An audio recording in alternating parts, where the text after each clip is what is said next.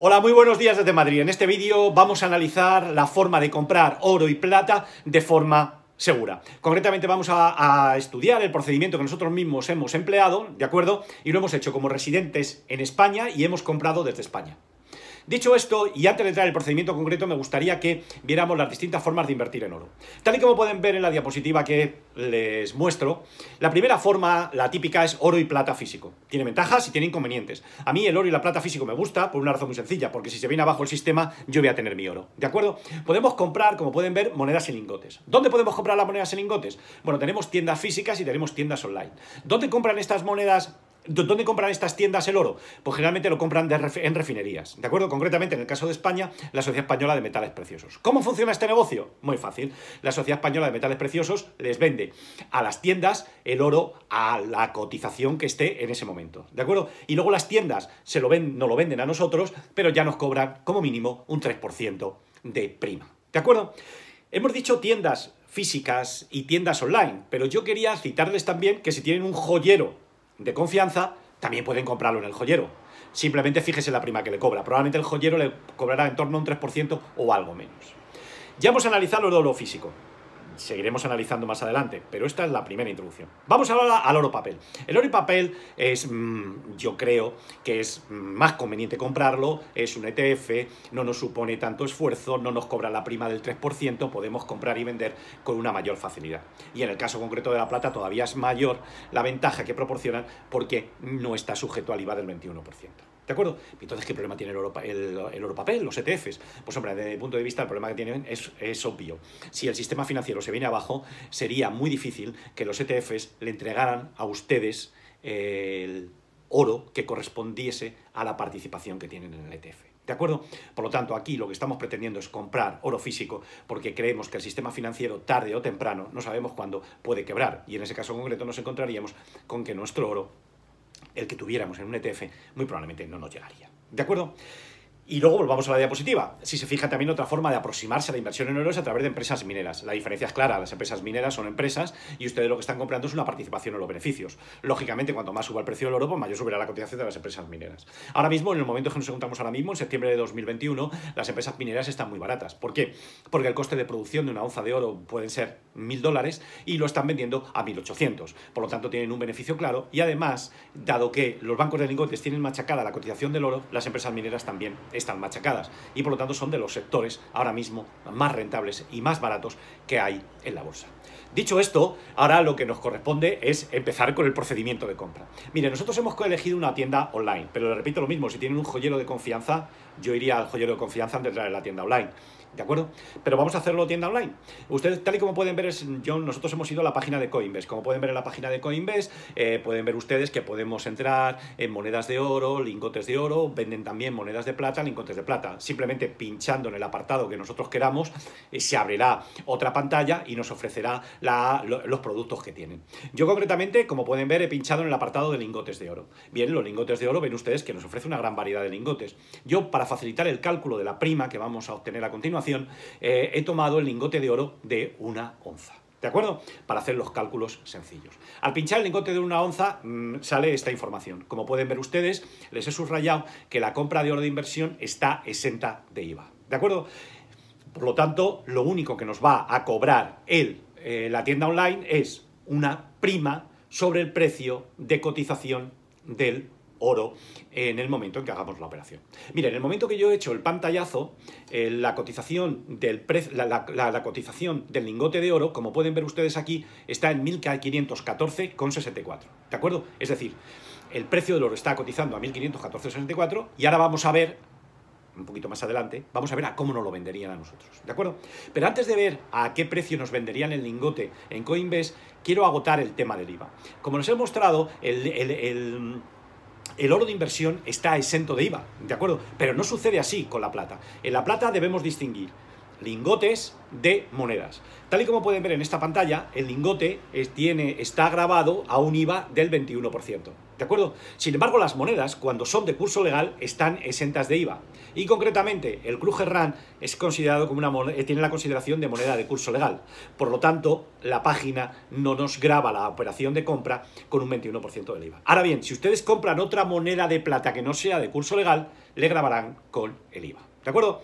Dicho esto, volvemos a nuestro lingote de oro y vamos a calcular la prima que nos cobra esta tienda online por vendernos un lingote de oro. Una prima sobre el precio de cotización del oro. Vamos a la página.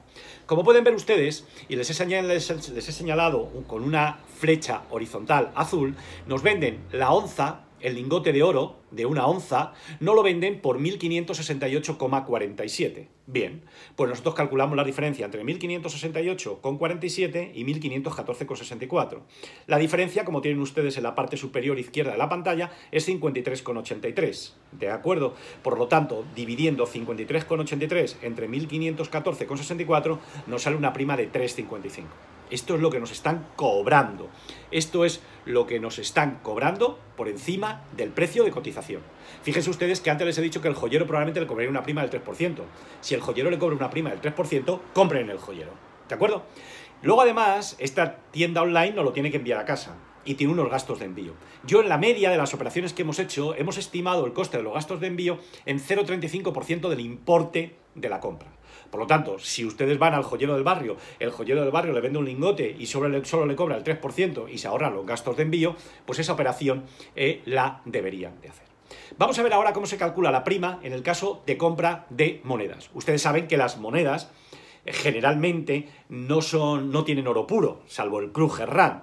¿De acuerdo? Entonces es necesario hacer un cálculo para determinar cuál es la cantidad de oro puro que ellas tienen. ¿De acuerdo?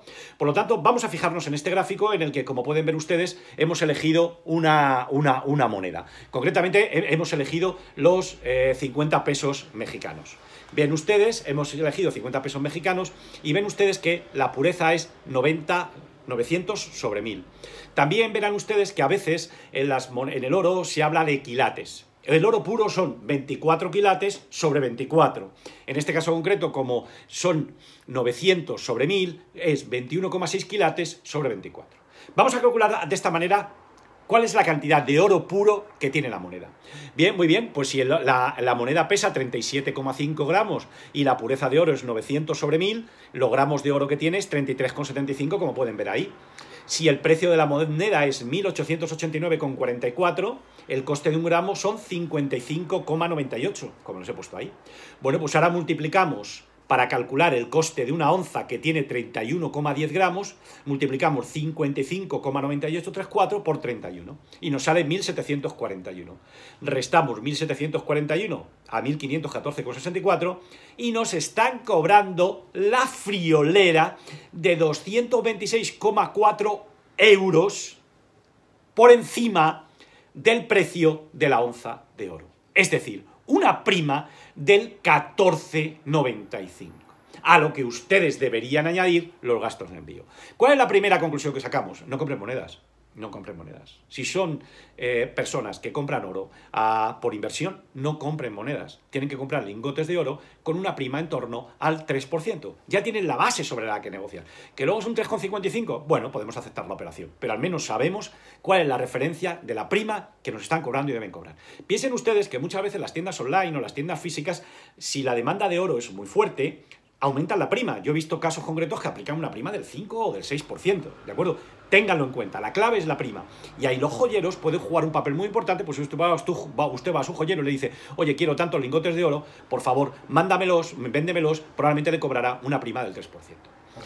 Nos han mandado ustedes preguntas de qué pasa con la compra anónima de oro y plata. Ustedes pueden comprar oro y plata de forma anónima. Concretamente, algunos de ustedes nos dicen, es que yo no quiero que el gobierno me lo confisque como hizo Roosevelt con el oro de los americanos, para luego timarlos. Yo entiendo que es una preocupación lógica. Yo lo he visto sobre todo en los países, eh, los países del norte de Europa que están acostumbrados a guerras, ya han vivido una historia económica y guerrera muy convulsa. Concretamente es normal que en Alemania, que en Holanda, que en Bélgica, la gente acumule oro y quieren acumularlo de forma anónima porque saben, con todas las guerras napoleónicas, eh, que han visto que les quitan el oro. Y el oro al final siempre tiene valor. El problema que tenemos ahora es que, por ejemplo, en España tú solamente puedes comprar oro de forma anónima o plata o cualquier otro producto siempre y cuando el importe sea inferior a 50.000 euros, ¿de acuerdo? De tal manera que mm, esta es la referencia que tienen. Ahora bien, en otros países este límite es diferente. En Alemania son 2.000 euros, en el Reino Unido son 10.000 libras, ¿de acuerdo? Siempre que lo compren ustedes en dos veces siempre que compren en cada una de ellas menos de 5.000 libras. Por lo tanto, en Inglaterra yo puedo comprar dos, dos veces oro por un importe inferior a 5.000 libras y también la compra será anónima. El problema es traer el oro a España. Piensen ustedes que cuando pasen por la frontera no pueden llevar en efectivo, sin declarar, más de 10.000 euros. De tal manera que si ustedes van a llevar entre el oro más el dinero que lleven, suma más de 10.000 euros, saben que lo tienen que declarar. Yo les ruego que cumplan escrupulosamente las normas para no ser penalizados y no tener disgustos innecesarios. De tal manera que en vez de llevar 10.000 euros, pues llevan 8.000 más el dinero que tengan en efectivo, siempre, que, siempre y cuando la suma no supere los 10.000 euros. Esta es la información que hay ahora disponible con las leyes ahora en vigor, pero estén atentos antes de hacer la operación, pregunten en las autoridades económicas de su país cuáles son los límites para cumplir siempre la ley y no tener problemas. Otro detalle. A la hora de guardarlo, si ustedes compran oro físico lo tienen que guardar bien. Yo les aconsejo que no lo guarden en casa, no lo guarden en la calefacción. Si entra el ladrón, sabe todo el mundo que está en la calefacción. Y si lo guardan en el jardín, por ejemplo, no guarden plata en el jardín, porque la plata se deteriora. ¿De acuerdo? Si ustedes ven que la plata está negra, no se preocupen, no pasa nada. La plata se oxida y se queda negra, eso no significa que esté mal. Pero se deteriora si lo dejan en el jardín y no lo conservan adecuadamente. Por lo tanto, lo que yo les recomiendo por encima de todo es que vayan a cajas de seguridad. Seguridad, hablando de seguridad. Cuando compren oro, exijan factura, se la van a dar. Los lingotes están numerados, ¿de acuerdo? Incluso si ustedes son muy desconfiados, muy desconfiados, y compran un lingote que pesa menos de 300 gramos, hay balanzas que miden la densidad. Entonces usted puede calcular perfectamente cuál es la densidad del lingote y la compara con la densidad de un lingote de una pureza igual a la que usted ha comprado y que ya sabemos de antemano. ¿De acuerdo? Con lo cual, sin ningún eh, problema. Finalmente, finalmente, cuando uno compra oro físico, lo compra con una visión a largo plazo, no para estar comprando y vendiendo, porque si compro y me cobran una comisión del 3% y al día siguiente quiero vender y me cobran otra comisión del 3%, no es ese el camino. ¿De acuerdo? Uno compra oro, plata, oro y plata físico para defenderse de un colapso del sistema o bien de una gran inestabilidad social. Ahí tienen el vídeo y espero que les haya gustado. Adiós, hasta luego.